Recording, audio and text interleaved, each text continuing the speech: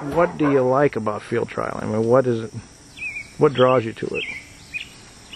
I mean, I I like uh, I like the animals. I like the dogs, um, and I guess just the, the competition. I'm, I'm competitive. It's uh, kind of an adrenaline rush. I mean, you're traveling pretty good clip, but you're on a horse um, to come over a hill and find a dog standing, tail 12 o'clock, intense, waiting on you to get there when by all means that dog could have went in there and flushed the bird out and you never would have seen that covey um, they're just a phenomenal dog it's unbelievable what their nose and how you can mold them into th- that type of dog i mean Mhm.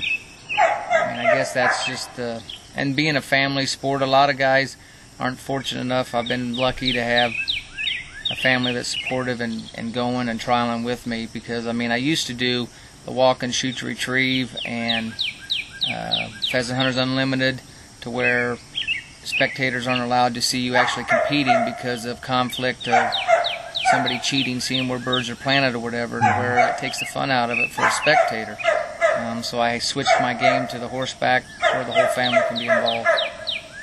So it's the dog, the family, and and the fact that you're able to train an animal to do that. I mean, that's kind of Yeah. neat. Yeah. Yeah. Yeah. First litter out of the mom, like I said, it was out of the champion Blazing Glory, and we bred to Champion Bad River, and they're two weeks old today.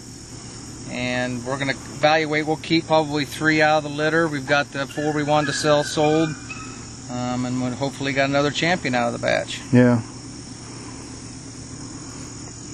They pointing yet? Not yet. You gonna be a good one?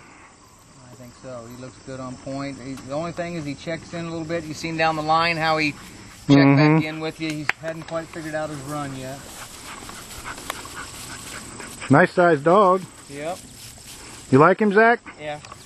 You think he's gonna be good? Mhm.